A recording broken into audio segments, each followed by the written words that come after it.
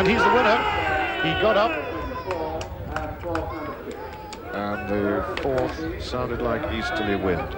But at any rate, he's got up, Praiselien. So the result then of this Yorkshire Bank Trophy, it's a win for the favourite, number 20, Praiselien, owned by Mr. G. Edmondson, trained at Lambourn by Tom Marshall and ridden by Dennis Mackay. Second was number 10, Miss Mirabelle, owned by Lord Walpole, trained by Michael Jarvis and ridden by Bruce Raymond. And third was number 24, Jolly Green Giant, owned by Mr. A.F. Leighton, trained by John Yardley and ridden by George Duffield. So uh, Michael Jarvis and Bruce Raymond, second in the opener with Best Bold, have to settle for the runner-up spot once again because they were defeated, albeit narrowly, by uh, in this uh, Yorkshire Bank Trophy. Well, we're going to give you our SP shortly, but we can now bring you the SP on the 2 o'clock from Haydock Park. First number 14, Quality Road, 7 to 2. Second number 11, Dear Gem, 5 to 1 and third number 13 Jade Empress at 9 to 2. Heavy Weapon was the 2 to 1 favourite, a non-runner here number 10 and 5 ran.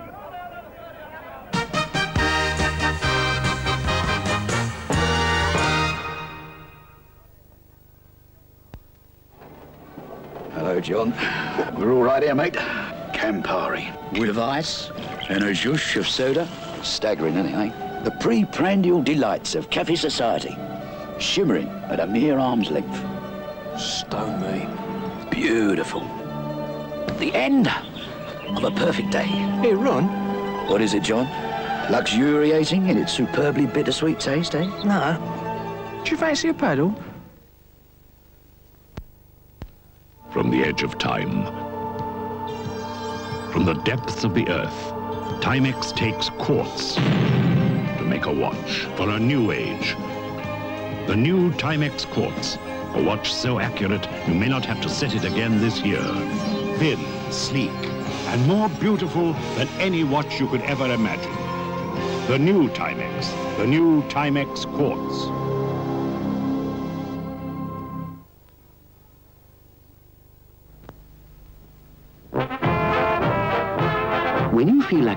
To eat, no one is quicker than McDonald's. Can I help you, please? Just give us your order, and we'll serve you in next to no time. At McDonald's, we keep things moving, so you can pop in and out anytime. That's the difference at McDonald's you'll enjoy. Our service, it makes all the difference.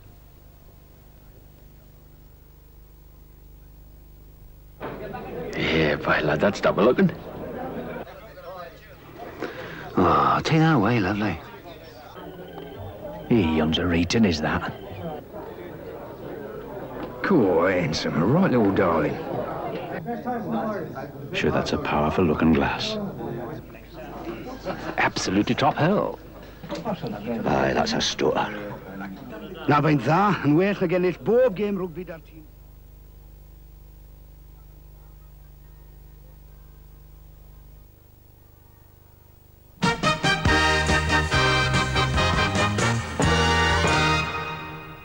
We rejoin you with the full SP on the 2 o'clock at Catterick. First number 20, Praise 130 favourite.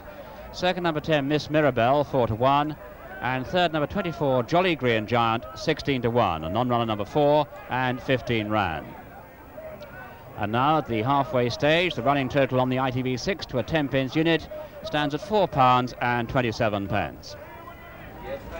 Bookmakers William Hill have just told me they report tons of money for Praise back from 8 to 1 to 100 to 30 and you saw the jubilant scenes there in the winner's enclosure. Somebody's made a small fortune or even a big fortune. That was a real wholesale gamble. Dennis Mackay was confident he'd got up, more confident the rest of us and the other people, uh, the owners down there, they uh, certainly had a heart stopper for a few seconds. Tom Marshall, incidentally, the son of Bill, the Newmarket trainer, Tom's second winner of the season and he was a very good uh, amateur jockey before he took up training about eight years ago. So smiles in the winner's enclosure here at Catterick, and uh, that's the news. The sun has come out. It's still very, very windy. We're hanging on. So let's go back to the calm of the studio and Fred. Thank you very much, Derek. Just to remind you, we still have three more races to come to complete the ITV6 this afternoon. One from Catterick and two from Epsom, including at 2.55, the fourth classic of the season, the Oaks. Then at 10 past three, in Sports Special 2, it's Speedway and the British final of the World Individual Championship from Coventry.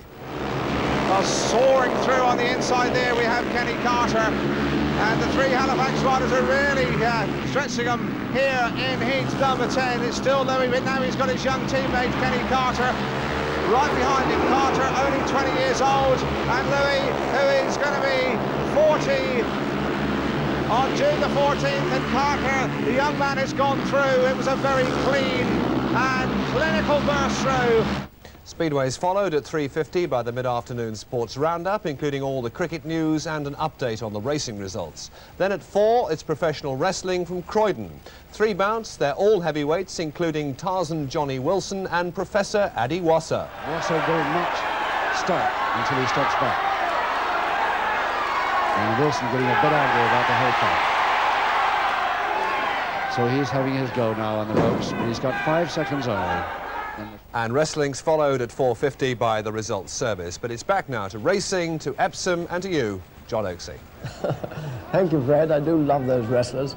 However, uh, the Ebbisham Stakes, there are the uh, NMT Ebbisham Stakes. They're on their way to the post for that, but we're still puzzling about the Oaks.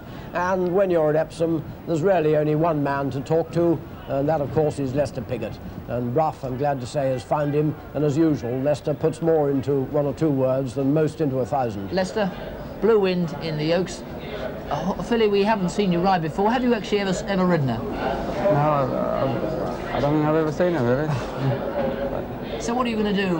How do you approach getting to know a filly like this? Uh, well, the trainer, he gives you a very good idea what, what to do and that, and, uh, and Wally told me all about it, you know and uh, so I pretty well know what to do. Well, of course, you ran over a, a mile in the Guineas last time, mile and a half here. How will you approach the race? Well, I expect there'll be plenty of pace in the race anyway, you know, and, uh, you know, I just, just follow a few of them and, uh, and just hope she stays. Now, everyone that knows you as a master of tactics, and of course the ground has been giving jockeys problems here. Where will you expect to come in the straight? Well, I don't know, you know, uh, but I should think uh, they'll come over this down side because they put a false rail up today around the turn. That's going to tire them out quite a bit. Mm. And Leap Lively, if Leap Lively makes it, would you? How late would you delay a filly like this effort? Well, she, she might make it, but uh, there's a couple of others that will, that will probably go along as well, you know, so we just have to play it by ear. And realistically, you always like to be realistic about your chances. How do you rate your chances? Well, she must have a very good chance, you know. Yeah, I'm hoping for the best. You know? Okay, good luck. he is a marvel of e economy of effort, economy of words, but a lot of information. And uh, you may never have seen Blue Wind before, but she'll get the ride she deserves. Well, so will What Heaven in the NMT Ebbisham, because Lester's on her at the post now. I honestly